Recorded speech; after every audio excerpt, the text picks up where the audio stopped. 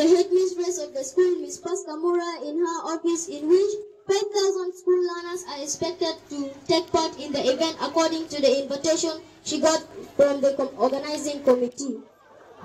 To continue with the news, listeners, girl child education to be taken seriously, says the senior woman teacher of JCC Model Primary School. Our correspondent, Mercy Emmanuel, has more details on that story.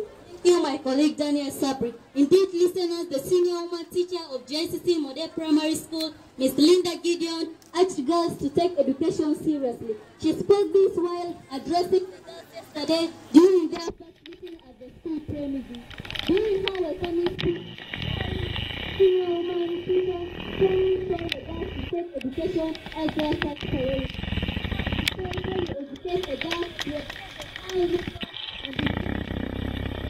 Just a wait, wait a minute.